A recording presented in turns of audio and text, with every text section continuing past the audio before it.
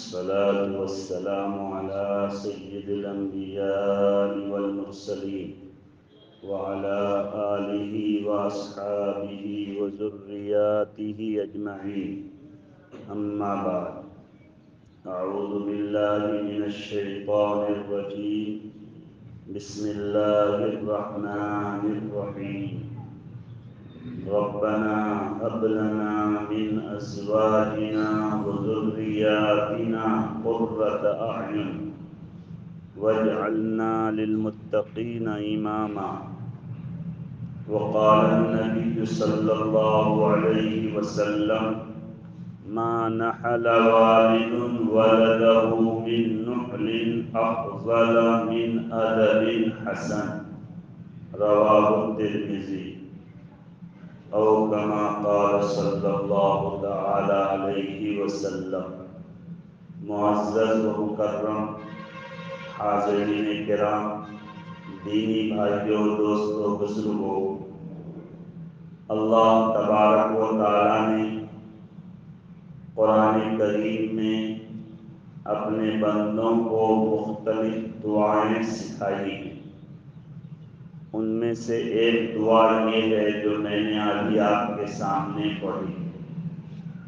जिसमें अल्लाह ताला इरशाद फरमाते हैं कि बंदो, तुम ये दुआ मांगो कि रब्बना हब लना मिन अज़वाजिना व ज़ुर्रियातिना कुर्रत अयुन।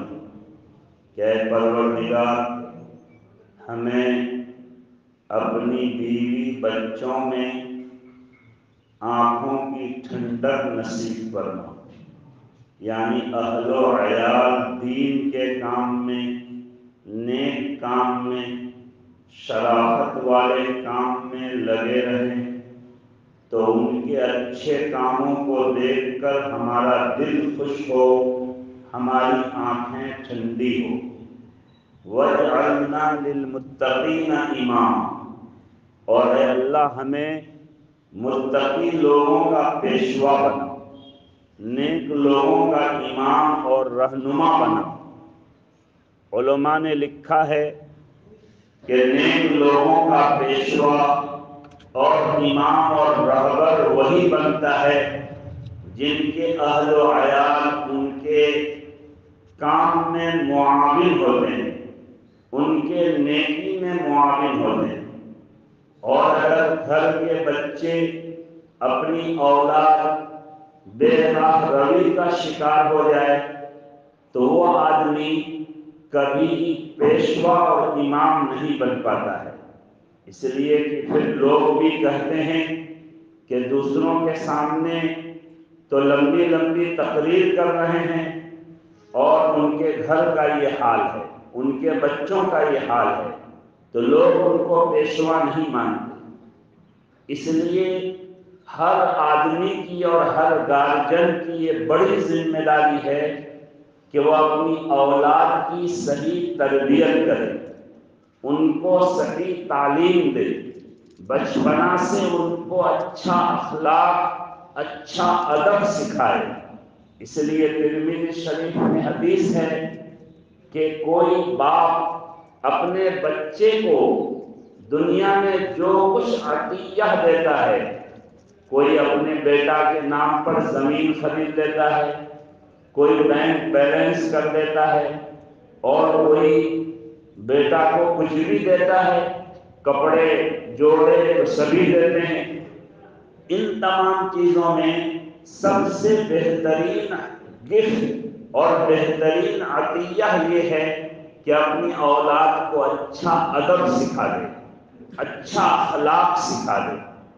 आज अफसोस की बात है कि हमारी निगाह औलाद की सही तालीम और तरबियत की तरफ़ न होने की वजह से कितने ऐसे लोग हैं कि औलाद उनके लिए वबाल जान है। वो दुआएँ करते हैं बदुआ करते हैं कि मेरी औलाद मर जाए, ख़त्म हो जाए। ताकि मेरी मुसीबत दूर हो। हालाँकि बचपना में कितने प्यार और लाड से उन्होंने अपनी औलाद की परवरिश की थी। क्या उम्मीदें उनके साथ उनकी वाबस्ता थी? लेकिन आज वही बाप बेटा के मरने की दुआ कर रहा है, मरने की बद दुआ कर रहा है। क्यों? इसलिए कि बच्चों की बचपना में सही तरबियत नहीं हुई। उनको सही तालीम नहीं दी गई। तो लिहाजा उसका अंजाम खुद वालदेन को भुगतना पड़ता है। चुनाचे हज़रत उमर रज़ी अल्लाह के दरबार में अदालत और कोर्ट में एक मुकदमा और केस आया। एक बाप ने शिकायत की अपने बेटा के बारे में कि मेरा बेटा मेरा हक अदा नहीं करता।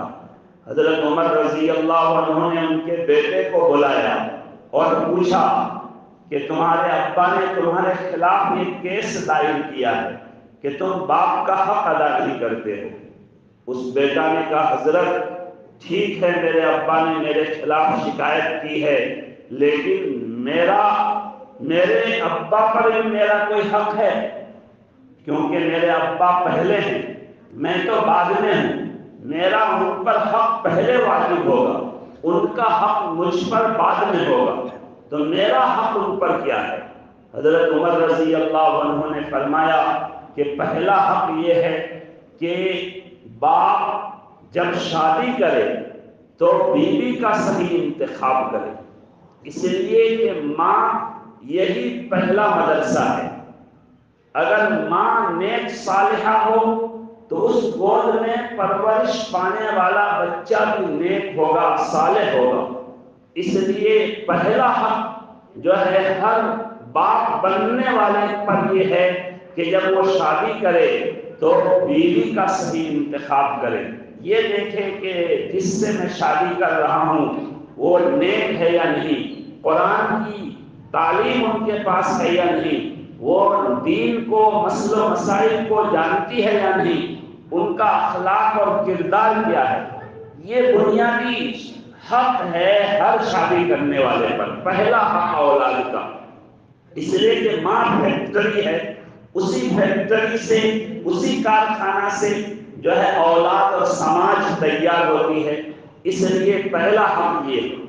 लेकिन आज अफसोस की बात है, हमारे जवान शादी में ये देखते हैं कि कौन सी डिग्री है, नंबर कितना है, ताकि नौकरी उनको मिलेगी या नहीं। इन चीज़ों को देखा जाता है। माल, दौलत, उनके घर में क्या है? हमको दान, दहेज क्या मिलेंगे? इसलिए कितने जवान हैं, उनको शादी करने में बरसों लग जाते हैं। तलाश करते करते परेशान कि लड़की मिल नहीं रही। हालाँकि हर मैार की लड़कियाँ लड़कों से ज़्यादा तादाद में मौजूद है, मगर क्योंकि दिल में शैतान है, वो जो माल दौलत दुनिया का खजाना ससुराल से चाहता है, जो उनकी खराब नीयतें उससे वाबस्ता हैं, उन नियतों के मुताबिक वो खुल के कह भी नहीं सकता और उनके सामने ऐसा घराना नज़र नहीं आता, इसलिए बरसों तलाश करने में लग जाता है। तो पहला हक ये है कि आदमी शादी नेक औरत से करे। ताकि उनके गोद में जिस बच्चे की परवरिश हो, वो बच्चा नेक सालेह बने। और दूसरा हक ये है कि बाप बेटा का, औलाद का नाम अच्छा रखे। आजकल इंटरनेट से नाम निकालकर अजीब अजीब लोग नाम रख देते हैं। हालाँकि नाम जो है उलमा से, बुज़ुर्गों से पूछ कर रखना चाहिए। ऐसा नाम रखना चाहिए जिसका माना भी अच्छा हो, जो अंबिया, सहाबा, बुज़ुर्गों के नाम से मिलता जुलता हो। लिहाजा नाम का भी बहुत असर है। इसी वजह से अगर कोई गैर मुस्लिम मुसलमान बनता है तो उनका नाम बदला जाता है। अगर उनका पहला नाम गड़बड़ है तो उसको बदल दिया जाता है। अल्लाह के नबी ने भी बहुत से सहाबा का नाम बदल दिया था। क्यों? इसलिए नाम का बच्चे पर एक असर पड़ता है। और तीसरा हक है कि बच्चे की सही तरबियत करे, उसको दीन की सही तालीम दे। ये हज़रत उमर रज़ी अल्लाह ने तीन हक बताया। तो उस बच्चे ने कहा कि मेरे बाप ने इनमें से कोई हक मेरा अदा नहीं किया। मेरी माँ एक मजूसिया आग की पूजा करने वाली औरत है। वो इश्क मुआशका में एक मजूसिया औरत से शादी कर ली। और वो ही मेरी माँ है, उन्हीं के गोद में मेरी परवरिश हुई है। मेरा नाम भी बहुत खराब रखा। जो अरबी में जोल नाम उनका रखा था, उनके बाप ने, जिसका माना गंदगी और गंदगी का कीड़ा है। तो का नाम भी गलत रखा। मेरी कोई तालीम, तरबियत भी इन्होंने नहीं की। हज़रत उमर रज़ी अल्लाह ने बाप का मुकदमा खारिज कर दिया। कि तुमको कोई हक नहीं है बेटा की शिकायत करने का। जैसी करनी, वैसी भरनी। तुमने जो किया है बेटा के साथ, वो अब भोग दो। आज हमारा हाल भी यही है कि बचपना में हम खुद बच्चे को जो है गलत तरबियत देते हैं। किसी स्कूल में, किसी मदरसे में, किसी मकतब में गाली सिखाने का तो कोई कोर्स नहीं है। लेकिन हमारे बच्चे गाली कैसे सीखते हैं? वो अपने घर में गाली सीखते हैं। माँ बाप में झगड़ा होता है, एक दूसरे को गाली देते हैं, बाप किसी और बच्चे को गाली देता है तो उनकी गालियाँ सुन सुनकर अपने अड़ोस पड़ोस के बच्चों के गालियों को सुनकर बच्चा गाली सीख लेता है। हालाँकि किसी स्कूल में, किसी मदरसे में गाली सिखाने का कोई कोर्स नहीं, लेकिन हर बच्चा गाली सीख लेता है। कैसे सीखता है? ये घर में सीखता है। घर की का माहौल ऐसा होता है कि जो है, घर के गार्जियन एहतियात नहीं करते। बच्चे के सामने गलत जबान इस्तेमाल करते हैं। बहुत मरतबा बीवी को गाली देते हैं। तो लिहाजा जो है, वो गाली सीख लेता है। झगड़ा कहीं सिखाया नहीं जाता। लेकिन बच्चे खूब झगड़ा करते हैं। कहा वो झगड़ा सीखते हैं? घर में सीखते हैं। माँ बाप का अंतर हो जाए तो औलाद के सामने में लड़ते झगड़ते हैं। तो बच्चे भी जानते हैं कि अच्छा झगड़ा भी कोई चीज़ है। ऐसे मौके में झगड़ा करना चाहिए। मेरे अब्बा ने मेरी अम्मी को ये कहा था। मेरी अम्मी मेरे अब्बा को ये बोली थी, लिहाजा हमको भी कभी कोई अगर किसी से तकरार हो जाए, किसी से मामला उलझ जाए तो हमको भी ये बोलना चाहिए। ये झगड़ा कहाँ सीखता है बच्चा? घर में सीखता है। बहुत मरतबा अच्छे अच्छे शरीफ घराने के बच्चे चोर बन जाते हैं। कहा पता नहीं मेरा बच्चा कैसे चोर बना तुमने बनाया। बचपना में बच्चों को चोरी सिखाते हैं। और अफसोस की बात यह है कि उसको चोरी समझते भी नहीं। जैसे मसलन, हदीस में है कि बच्चा बहुत मरतबा अंडा चोरी करता है और बाद में उसका हाथ काट दिया जाता है। हालाँकि सिर्फ़ अंडा चोरी पर शरीयत में हाथ काटने का हुक्म नहीं है। दस दिरहम बड़ी मिकदार का सामान चोरी करे तो हाथ काटने का हुक्म है। लेकिन क्योंकि अंडा चोरी जब किया था तो माँ बाप ने रोका नहीं। कह रहे किसके घर का तुम अंडा लाए, ये अंडा हमारे घर से कहाँ आया? हमारे घर तो मुर्गी नहीं है, देसी मुर्गी का अंडा कहाँ से ले आए? नहीं डांटने अच्छा बेटा, कहाँ से? क्या बाहर पाया था अच्छा अच्छा। हौसला अफजाई करते हैं। बताइए, बाहर अंडा मिलता है? अगर मिले भी तो तहकीक करनी चाहिए, किसकी मुर्गी का अंडा है, किसके किस पड़ोसी का है, उनके घर में पहुंचाओ, तुम क्यों उठा कर लाए? बच्चा बहुत मरता कहता है, ये बीस रुपए मुझे मिला अच्छा तुमको बीस रुपए मिल गया। हौसला अफजाई करते वो आज बीस रुपए चोरी करके कहीं से लाया, किसी दुकान से लेकर आया, आपने हौसला अफजाई कर दी तो अब तो वो चोर ही बनेगा। और शादी ब्याह में तो आम तौर से ऐसा होता है पड़ोस के घर में शादी है तो बच्चा को सिखाते हैं, जाओ गोल लेके और किसी तरह गोश्त उठा के ले आओ। जो है, अगर मेहमानों के लिए टिफ़िन बनी है, दो चार टिफ़िन चोरी करके लाओ।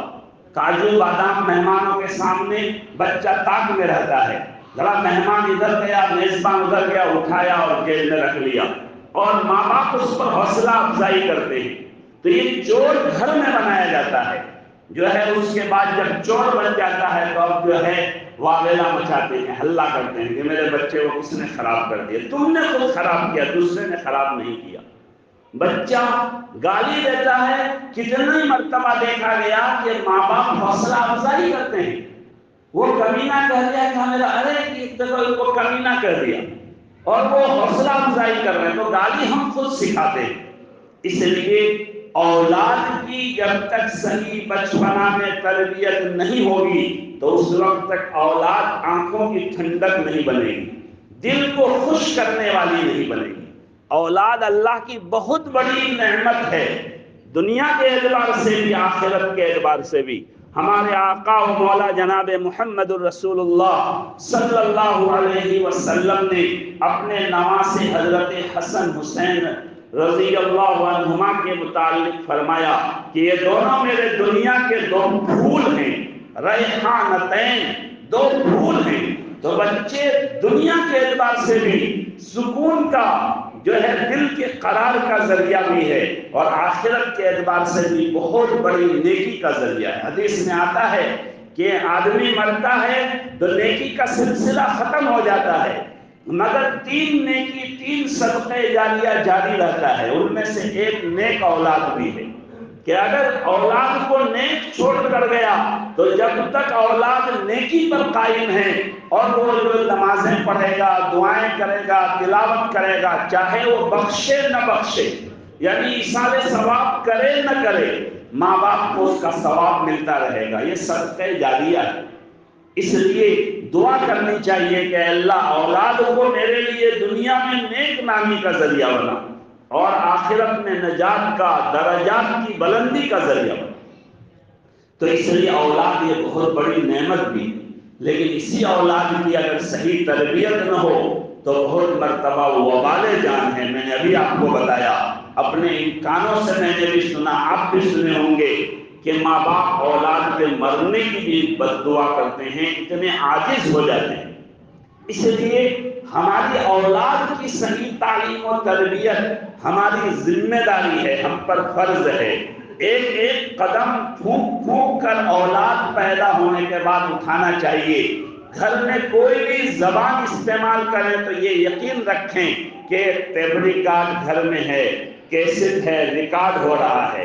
हम जो बोल रहे हैं, ऐसा नहीं कि बच्चा है, वो समझ नहीं रहा है। उनके दिलो दिमाग में गाली बैठ रही है। अगर बच्चे के सामने हम कोई ऐसी गंदी हरकत करते हैं जो दूसरों के सामने नहीं करनी चाहिए, चाहे मियाँ बीवी के आपस में ही क्यों ना हो। जो हलाल और जायज़ है, बच्चा ना समझ है, लेकिन उनकी जबान नहीं है कि वो बोल नहीं पा रहा है अभी अभी एक साल का बच्चा है, मगर दिमाग उनका चल रहा है। उनके दिमाग में वो सब हरकतें रिकॉर्ड हो रही है। इसलिए हमारे बच्चों की तरबियत पर हमको खास तौर से तवज्जो देनी चाहिए। खास तौर से ये नई नस्ल के ईमान और दीन की जो है फ़िक्र करना, ये हमारे लिए ज़रूरी है।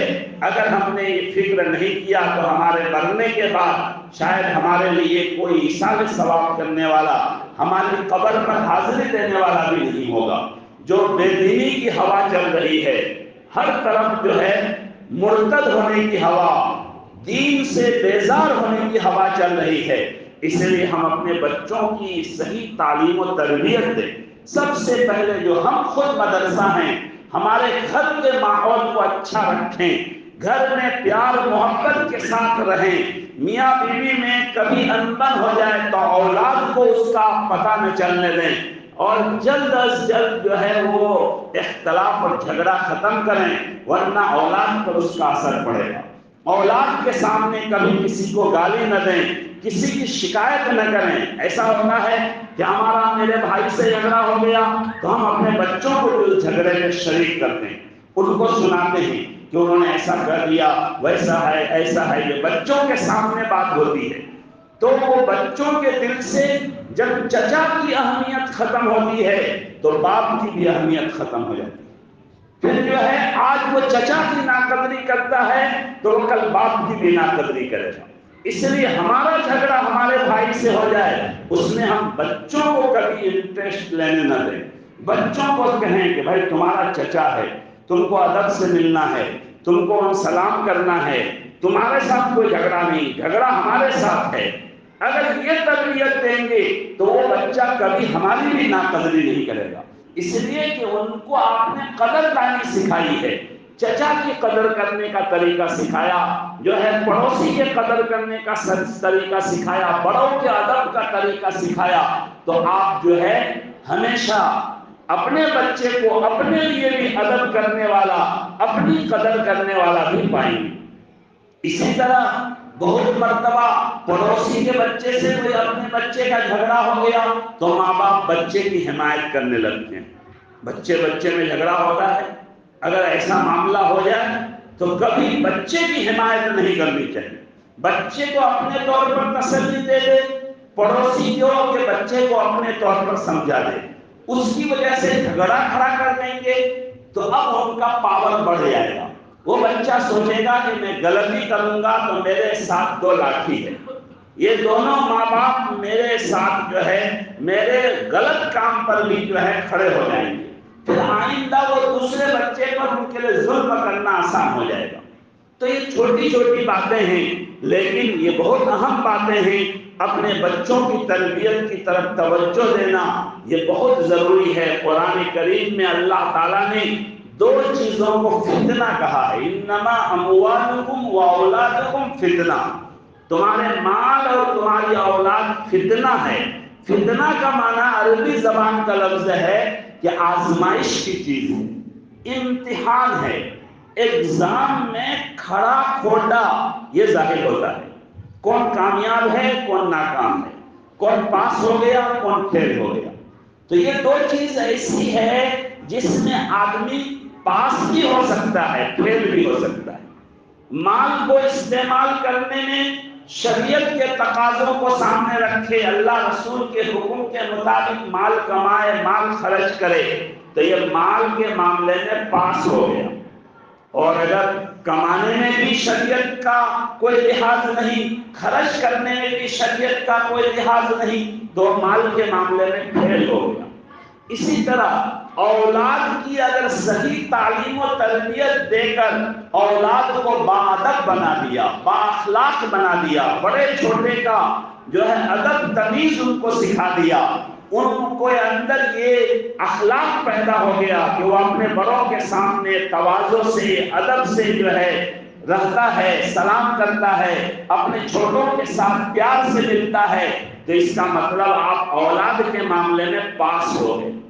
और अगर इसके खिलाफ किए तो इसका मतलब औलाद के मामले में फेल हो। फितना का ये मतलब नहीं है जो हम लोग अपनी जबान और उर्दू में फितना, खराबी चीज़ को कहते हैं। अरबी में फितना का माना आजमाइश, इम्तिहान, एग्ज़ाम।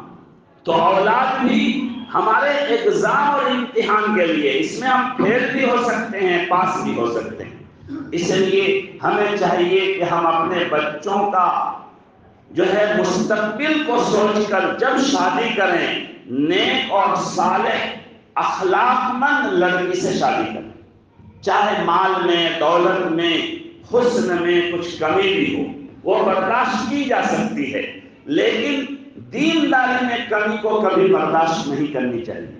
ये पहला हक है पर। उसके बाद जब अल्लाह औलाद दे तो नाम उसका अच्छा रखें। नाम का एक असर होता है। नाम में अगर घमंड का कोई लफ्ज हो तो आमतौर से घमंडी होता है। नाम में अगर बंदगी का, आजिसी का लफ्ज हो, जैसे उबैदुल्ला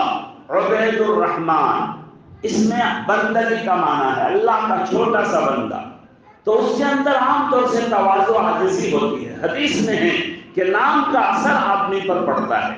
इसे नाम अच्छा रखें। और उसके बाद बच्चों के बचपना में सही तरबियत अपने घर में दें और जब पढ़ने के वो लायक हो जाए तो उसको मकतब भेजें मकतब में उसकी सही तालीम दें। मकतब में उनको मुसलमान और मोमिन बना दें। एक अखलाकमंद और बादब बच्चा वो बन जाए, उसके बाद आपको जो कराना है कराइए। आप डॉक्टर बनाइए, इंजीनियर बनाइए बालिस्टर बनाइए जो है मौलाना बनाइए, मुफ्ती बनाइए, जो चाहिए बनाइए। इस्लाम में रोका नहीं है। ये कोई शरीयत में हुक्म नहीं है कि हर आदमी हाफिज कुरान ही बने, आलिम दीन ही बने। ये तो हमारा अपना इख्तियार, अपना सोच है।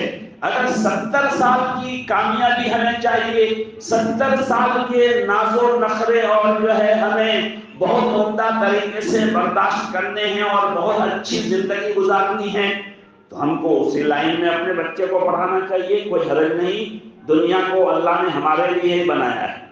और हमेशा हमेशा की कामयाबी अगर चाहिए, आखिरत की वो कामयाबी चाहिए, हदीस में आता है कि एक आदमी पर जहन्नम वाजिब हो जाएगी। फरिश्ते घसेट कर जहन्नम की तरफ़ ले जाएँगे। एक बच्चा खड़ा होगा, कहेगा अल्लाह, ये मेरे चचा हैं, ये मेरे मामू हैं, ये मेरे भाई हैं, ये मेरे फूफा हैं इन्होंने मेरे हिफ्ज करने में बहुत हौसला अफजाई किया था, मेरा ताउन किया था। ए अल्लाह, मैं सिफारिश करता हूँ, इनको आप जहन्नम से बचा दें अल्लाह फरिश्तों से कहेंगे कि मैंने इनको दस टिकट दे रखा है जन्नत का। ये दस टिकट जिसको देगा, उनको जन्नत में मुझे भेजना है। इसलिए इनको वापस लाओ और जन्नत में भेज दो। ये अगर कामयाबी चाहिए तो ज़रूर हाफिज कुरान बनाना चाहिए, आलिम दीन बनाना चाहिए। ये हमारा इख्तियार है। लेकिन मोमिन बना देना बच्चे को, ये हम पर ज़रूरी है। लिहाजा हमें चाहिए कि हम अपनी औलाद की सही तालीम और तरबियत भी करें और इस दुआ का अहतमाम करें। एक बहुत बहुत बड़े मौलाना हैं, हदीस की किताबें पढ़ाते हैं। शादी किए अलग अलग फैमिली की वजह से दोनों में निभाव नहीं हुआ और बहुत परेशानी में रहे। एक दिन वो मुझसे बहुत रोते हुए तस्करा किए। कि देखिए मेरे घर का हाल ये है। बस मेरी कोई बात ज़मीन पर गिरने ही नहीं देती है। मैं कुछ कहूँ, फ़ौरन उसके खिलाफ बोलती तो मैंने उनसे कहा कि आप तो जानते ही आयत का अहतमाम से तिलावत कीजिए, हर नमाज़ के बाद ग्यारह मरतबा पढ़ लीजिए। रब्बना हबलना मिन अज़वाजिना व ज़ुर्रियातिना कुर्रत अयुन वजअलना लिलमुत्तकीना इमामा। ये अल्लाह ने ये दुआ सिखाई। खुदा की कसम आज उनके घर में बहुत मेल मोहब्बत की ज़िंदगी है और कितनी मरतबा अभी दो तीन महीना पहले उन्होंने कहा कि मौलाना, मुझे जो है बार बार ये दुआ निकलती है, आपने याद दिलाई और ये दुआ बताया, उसके बाद से मेरे घर की ज़िंदगी, घर की हालत बदल गई और कभी कभी सोचता हूँ कि मैं जो दो साल परेशान रहा, ये आप दो साल पहले क्यों नहीं बताए थे? आपसे मैंने दो साल पहले शुरू ही में ये सब हालात क्यों नहीं बताया था? इसलिए दुआ याद कर लें, किसी मौलाना से, किसी हाफिज कुरान से लिख कर और उसको कसरत से पढ़ें तो उसका असर इंशाल्लाह बीवी बच्चों पर पाएँगे। फिर बीवी बच्चे मोती फर्मा बरदार होंगे, उनके काम ऐसे होंगे कि आपका दिल उससे खुश होगा, दिल बाग बाग हो जाएगा। कभी दिल में चोट नहीं लगेगी, कभी ये नहीं सोचेंगे कि मर जाए तो अच्छा हो। इनशाला ये कुरान करीम की आयत है, इसको पढ़ने में सवाब भी मिलेगा और ये फ़ायदा है खुद अल्लाह ने जो आयत में दुआ सिखाई है, इस दुआ का माना मतलब ही ये है। रब्बना हबलना मिन अज़वाजिना व ज़ुर्रियातिना कुर्रत वजअलना इमामा। अल्लाह ताला हम सबको घर की सच्ची खुशियाँ नसीब फरमाए। हमारी घर, हमारा घर जन्नत नुमा बने, हमारी औलाद, हमारी आँखों की ठंडक बने, दुनिया में नेक नामी का ज़रिया बने, आखिरत में नजात और दरजात की बुलंदी का ज़रिया बने। अल्लाह हमें ऐसी औलाद से पनाह में रखे, जो हमारे लिए दुनिया में वबाल जान हो जाए। दुनिया में बदनामी का जो ज़रिया बने, और आखिरत में हमारे लिए पकड़ का अल्लाह के यहाँ मुआखजा का ज़रिया हो जाए। अल्लाह से ऐसी औलाद से पनाह मांगनी चाहिए और नेक औलाद की दुआ करनी चाहिए। वाखिर दावाना अलहमदिल्ला रब्बिल आलमीन।